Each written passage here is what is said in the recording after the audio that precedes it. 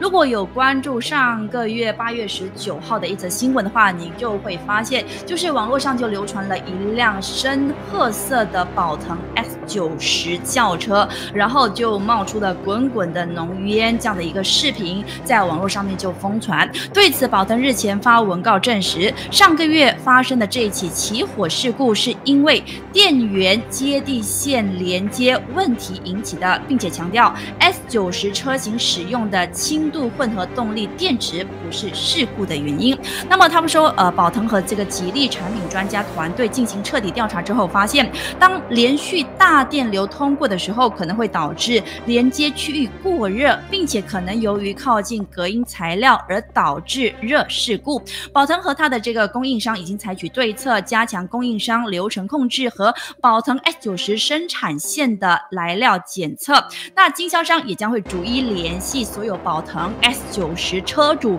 要求他们将车辆送来进行检查。那么宝腾 S 九十的车主也是可以呢，主动的拨打服务热线一八零零八八八三九八一八零零八八八三九八这样的一个号码服务热线，或者是联系临近的宝腾服务中心来了解并且预约检查宝腾 S 九十的车主，在这里可要注意了。